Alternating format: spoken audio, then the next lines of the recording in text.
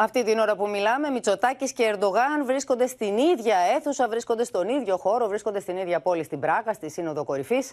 Θα πάμε σε σύνδεση με την Πράγα να συναντήσουμε τη Σοφία Φασουλάκη που είναι εκεί και θα μας δώσει αναλυτικό ρεπορτάζ. Καλωσορίζουμε κοντά μας και τη Μαρία Ζαχαράκη από την Κωνσταντινούπολη να δούμε πώς εκεί εισπράτεται όλη αυτή η διεργασία που γίνεται στην Πράγα. Ξεκινώντας με σένα, Σοφία, διότι είδαμε τους δύο άντρες να κρατούν τις αποστάσεις τους, ακόμη και στην οικογενειακή φωτογραφία, αν και όχι με δική τους πρωτοβουλία, για να είμαστε απόλυτα δίκαιοι. Και μια φωτογραφία, αυτή η φωτογραφία, η οικογενειακή φωτογραφία Πόπη, νομίζω ότι αντικατοπτρίζει την πραγματικότητα. Λέμε πολλές φορές ότι η φωτογραφία ε, μπορεί να λέει χίλιες λέξεις. Βλέπουμε σε κύκλο δηλαδή... έχουμε τον πρωθυπουργό μας, ε, συγγνώμη σε διακόπτω, και βλέπουμε εκεί τον Τούρκο πρωθυπουργό, στην, τον Τούρκο πρόεδρο στην άλλη άκρη της ε, εικόνας. Ακριβώς. Και μπορεί, όπως είπες και εσύ, Πόπη οι διοργανωτές να τους τοποθέτησαν σε ε, αυτό το σημείο, γιατί υπάρχει πρωτόκολλο.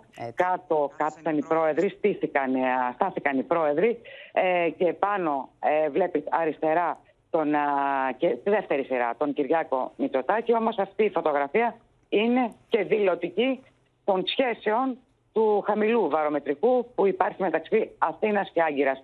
Για συνάντηση, βέβαια, απόπειρα, όπως καταλαβαίνεις, ούτε λόγος. Δεν είδαμε τους δύο ηγέτες να ανταλλάσσουν χειραψία δεν ξέρω καν αν αντάλλαξαν και ένα βλέμμα όσο μπορούσαμε εμείς να τους δούμε από την αίθουσα της Ολομέλειας, λίγο αργότερα μετά από αυτή την οικογενειακή φωτογραφία, δεν είδαμε καν να πλησιάζει ο ένας τον άλλον.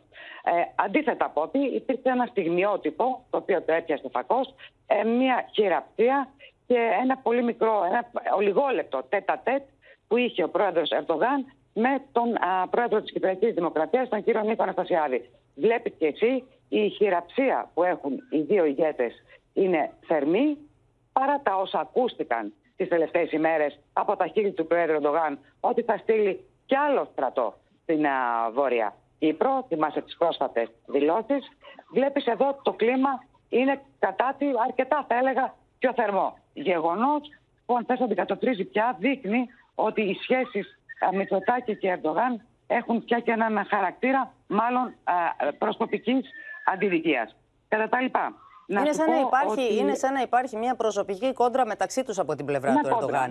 Δεν γύρισε να κοιτάξει τον Πρωθυπουργό, δεν αντάλλαξαν χειραψία, δεν συναντήθηκαν μέσα στην αίθουσα καθόλου.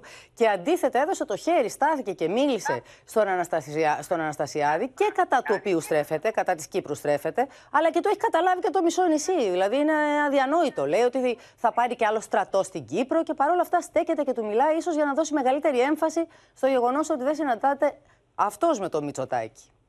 Με τον Έλληνα Πρωθυπουργό. Αυτό ήταν και εκείνος που χτυπήσει για μένα Μητσοτάκη στα Γιώκα. Ε, θα πρέπει να σου πω ότι αύριο το άτυπο συμβούλιο κορυφής ο Πρωθυπουργός θα αναμένεται να ενημερώσει τους 26 για τις τελευταίες εξελίξεις στις ελληνοτουρκικές σχέσεις, για τις προκλητικές και επιθετικές δηλώσεις και ενέργειες από την πλευρά της Τουρκίας και βέβαια και για, το, για την πρόσφατη τουρκολι, τουρκολιβική συμφωνία για έρευνα υδρογων ανθράκων στη Λιβική ΑΟΣ. Δεν έλειψαν και οι εχμές από τον Κυριάκο Μητσοτάκη, προσερχόμενος στην Σύνοδο των 44 σήμερα, αλλά και λίγο αργότερα με τον Ουκρανό Πρωθυπουργό. Είναι αυτό που θα δούμε τώρα, Σοφία Βασουλάκη, αφού σε ευχαριστήσουμε. And we made it uh, very, very clear that, uh, in principle, uh, we cannot accept uh, any violation of borders by, uh, by force. This goes against everything we knew. Uh, we thought we had agreed on the European continent, and um, we have supported you. We will support you, both within the European Union, but also on a bilateral level